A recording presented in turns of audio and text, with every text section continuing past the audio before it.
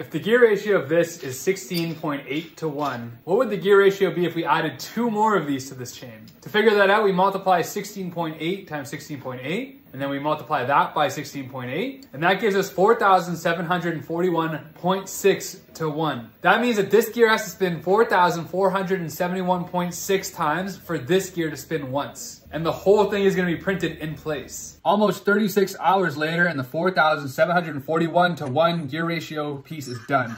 And you can see when I spin this by hand, we don't see that last gear moving even slightly.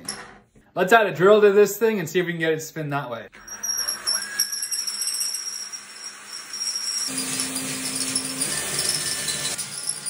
According to the digital tachometer, the drill spins at approximately 1,180 RPM. This means it'll take about four whole minutes to see that output gear make a single rotation. In the next video about this, we're gonna try to get a full rotation out of that output gear, so stay tuned for that.